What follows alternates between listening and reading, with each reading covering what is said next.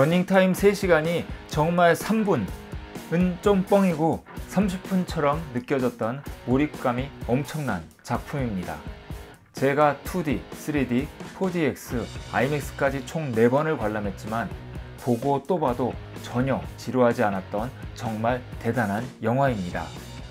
다만 몰입감 때문에 상영 중 음료수나 팝콘 먹을 시간이 부족할 수 있다는 점은 기억해 두시면 좋겠습니다. 안녕하세요. 영화 직관하는 남자 영직나입니다. 제가 오늘 또 아바타 길을 세 번째로 보게 되었습니다. 처음에 3D 보고 2D 보고 그리고 이번에 4D로 한번 보려고 이렇게 왔는데요. 제가 이것을 2D, 3D, 4D를 비교해서 또 여러분들께 설명해 드리려고 제가 이렇게 4D를 보러 밤늦게 찾아왔습니다. 밤늦은 시간이지만 얼마나 또 영화관에 사람들이 많은지 네 정말 수많은 사람들이 네, 영화를 보고 있는데 오늘이 아바타 개봉 제가 알기로 7일차인데 네, 지금 올해, 어제까지 320만이 영화를 관람했다고 하더라고요. 그래서 저도 그 중에 네, 두 번 보고 이번이 세 번째인데 네, 또 빨리 보고 나와서 여러분들께 좋은 리뷰 전해드리도록 하겠습니다. 여러분 또 곧 만나요. Bye. 다양한 옵션의 영화관 선택 팁을 말씀드리도록 하겠습니다. 평소에 영화를 자주 보시고 재밌으면 한 번 더 봐야지 생각하는 분들은 먼저 2D로 보면서 전체적인 스토리와 디테일한 영상미를 감상하신 후에 N차 관람을 도전하시는 것이 좋겠습니다.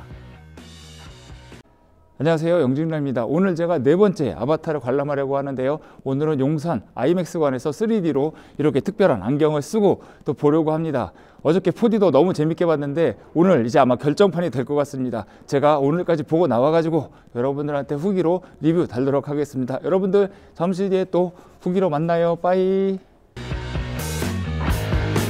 이번에 아바타 물의 길을 네 번 보고 느낀 소감은 이 영화는 아이맥스에 아이맥스에 의한 아이맥스를 위한 영화라고 말할 수 있을 정도로 아이맥스의 끝판왕이라는 점입니다.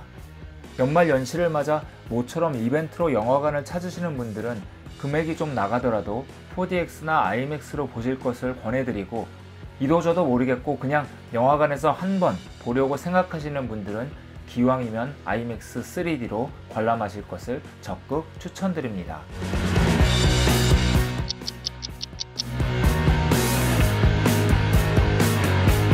나비족의 족장이 된 토르크 막토 제이크 썰리는 어느새 네이트리와 함께 내 아이의 부모가 됩니다.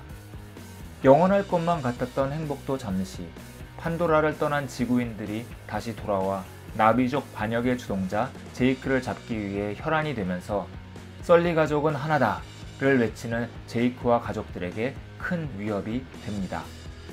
나비족과 가족을 지키기 위해 숲을 떠난 썰리 가족은 먼 바다로 나아가 바다 부족들과 함께 살게 됩니다. 숲을 터전으로 살던 설리 가족은 전혀 다른 환경에서의 삶에 적응하여 살아갈 수 있을까요?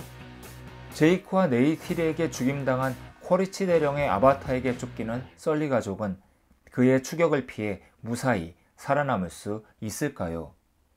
혹등고래를 연상시키는 툴쿤과 이크란, 일루 등 CG로 만든 판도라의 경이로운 생물들이 놀라웠고 프리다이빙을 배워 바다에 나가보고 싶은 생각이 들기도 했습니다.